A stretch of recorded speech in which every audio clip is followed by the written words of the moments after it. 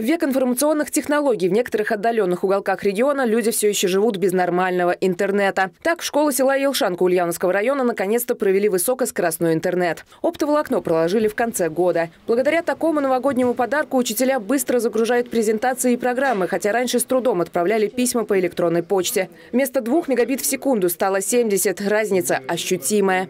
Кроме того, высокая скорость интернета – необходимое условие, чтобы а, организовывать дистанционное обучение учащихся. Сейчас ученики и учителя могут легко найти необходимую информацию а, для урока, могут скачать видео и даже целый фильм за несколько минут.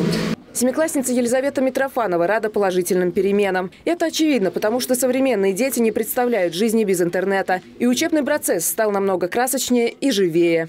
То, что интернет был плохой, это чувствовалось. То есть, когда мы, если что-то хотели, какое-то видео загрузить полезно, то оно у нас долго грузилось, бывали частые сбои. Поэтому было не очень удобно. Интернет проведен во все школы Ульяновской области. Благодаря техоснащению можно и дальше открывать точки роста и другие творческие лаборатории.